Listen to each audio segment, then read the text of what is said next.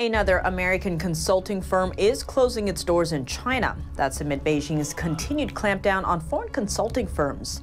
U.S. tech research and advisory firm Forrester Research has decided to shut down its office in China. A company spokesperson said the closure is part of a global restructuring plan.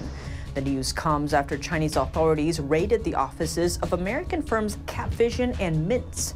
U.S. consulting giant Bain and Company also said Chinese police questioned staff in its Shanghai office. Chinese state media say the action aims to protect national security. On the other hand, the European Union's Chamber of Commerce in China says it sends a worrying signal and increases uncertainty.